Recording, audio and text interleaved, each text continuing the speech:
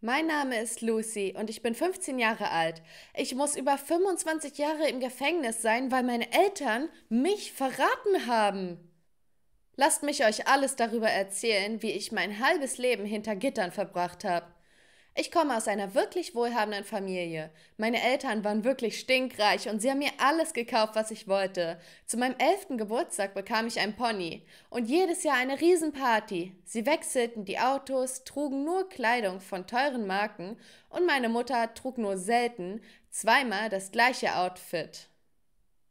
Mama und Papa schienen nicht allzu oft zu arbeiten. Daher war es seltsam, dass sie so wohlhabend waren, aber ich stellte selten Fragen. Es stand mir nicht zu, sie zu fragen, was hier vor sich ging, da ich ihre Tochter war. Sie waren eigentlich nicht besonders streng und ließen mich mit allem durchkommen, was ich wollte. Und sie wollten immer, dass man ihre Privatsphäre respektiert. Wisst ihr, wenn man in einer bestimmten Erziehung aufwächst, merkt man erst dann, dass etwas nicht stimmt, wenn es einem jemand sagt. Jedes Mal, wenn das Thema ihrer Arbeit aufkam, verhielten sie sich ganz nervös und wechselten sofort das Thema. Manchmal hatte ich Lust, das Thema ein wenig voranzutreiben und herauszufinden, was los ist.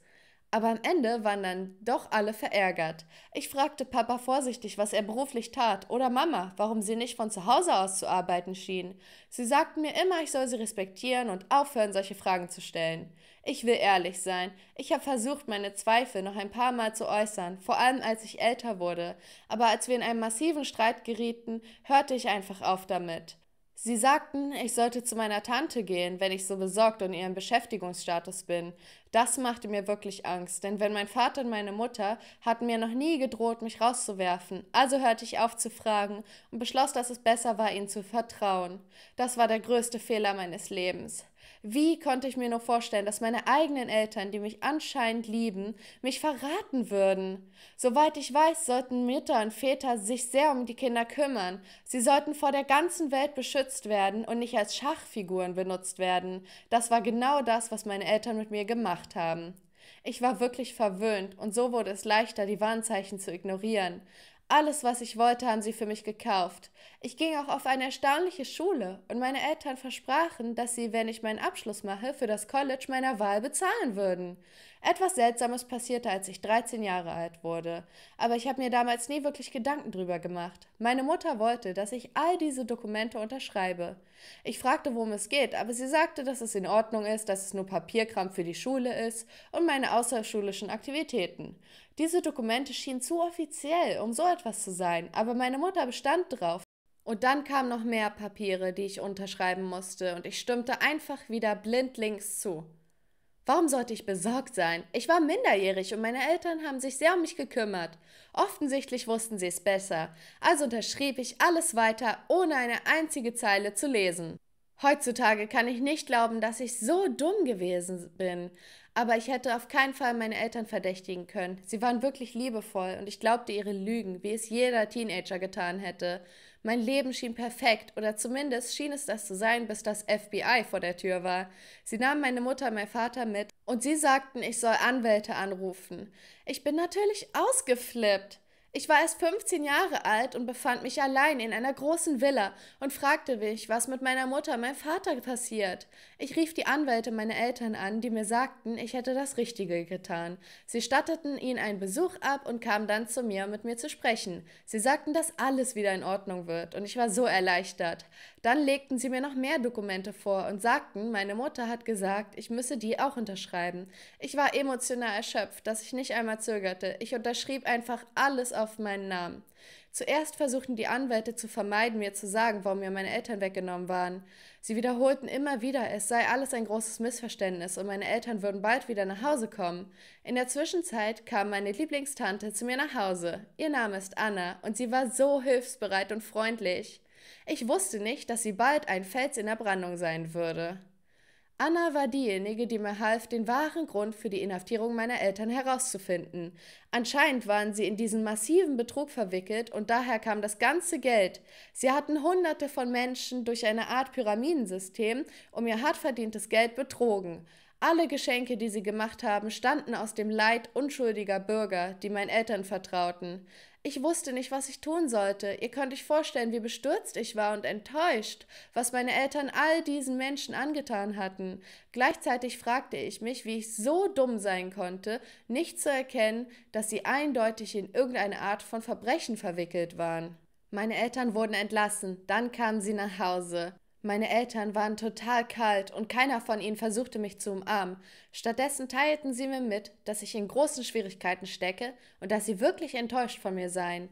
Ich hatte nicht wirklich Zeit, irgendwas davon zu verarbeiten. Zwei FBI-Agenten standen an der Seite meiner Eltern und auch sie sahen wütend aus. Sie sagten mir, ich muss zur Bestrafung mit ihm gehen. Ich verstand nicht, warum sie mit mir sprechen mussten. Schließlich wusste ich doch gar nichts von den Betrügereien meiner Eltern. Aber sie hörten sich meine Proteste nicht an. Ich war überrascht, dass meine Eltern mich einfach mitnehmen ließen, anstatt mich zu verteidigen. Meine Tante versuchte sie aufzuhalten, aber sie konnte nichts tun. Ich konnte mich noch erinnern, wie sie meine Eltern anschrie, etwas zu tun. Meine Mutter antwortete, dass ich die Verantwortung für meine Fehler übernehmen müsse. Welche Fehler? Ich habe nie was falsch gemacht. Ich habe nicht einmal meinen Prüfungen geschummelt. Ich war vielleicht ein bisschen verwöhnt, aber insgesamt war ich ein gutes Kind. Ich wurde in diesen kleinen Verhörraum gebracht, als wäre ich eine Art Krimineller. Meine Eltern sollten eigentlich anwesend sein, da ich minderjährig war, aber sie waren nicht da. Später fand ich raus, dass sie eine Erlaubnis unterschrieben hatten, mich ohne ihre Aufsicht zu verhören. Es war der reine Wahnsinn. Die FBI-Agenten begannen mir alle möglichen Fragen zu stellen. Ich konnte kaum aufhören zu weinen und einer von ihnen versuchte mich zu beruhigen. Jetzt wurde mir klar, dass sie wahrscheinlich guter Bulle, böser Bulle spielten. Ich kaufte ihnen ihre Nummer natürlich vollkommen ab. Als ich aufhörte zu schluchzen, begannen die Anschuldigungen. Sie zeigten mir Kontoauszüge, auf denen mein Name stand. Es gab so viel Geld dort und ich war diejenige, die dafür verantwortlich sein sollte.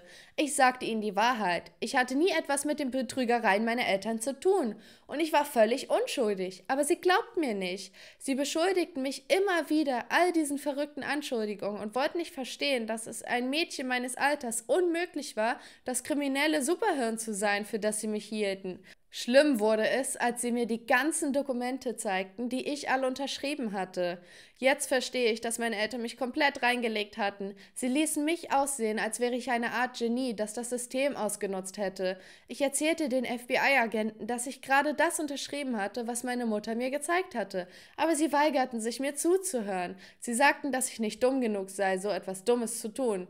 Ich wünschte, sie hätten recht gehabt. Dann hätte ich nicht in diesem Schlamassel gesteckt, wenn ich mich einfach geweigert hätte, ein einziges Stück Papier zu unterschreiben. Ich bekam einen Anwalt und der Tag der Verhandlung stand bevor. Ich war so nervös, dass ich nicht aufhören konnte zu zittern, als ich den Gerichtssaal betrat.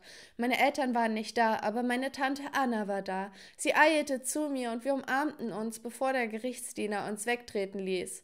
Das für meinen Fall zuständige Richterteam erlaubte mir, unter Hausarrest zu bleiben, während ich auf meinen Prozess wartete, aber ich weigerte mich absolut bei meinen Eltern zu bleiben. Sie waren Monster, die all dieses Lügengespinst geschaffen hatten, um ihre eigene Tochter für ihre Verbrechen verantwortlich zu machen.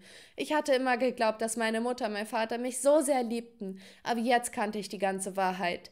Meine Ablehnung für mein Problem, dass ich nicht ganz allein gehen konnte, aber zum Glück stand meine Tante wie immer für mich ein, und ich wurde in ihre Obhut entlassen. Meine Tante nahm mich mit ins Haus, und dafür war ich sehr dankbar. Sie entließ den Pflichtverteidiger, den ich bekam, und bezahlte einen guten Anwalt. Sie will die Wahrheit hinter dem Betrug beweisen.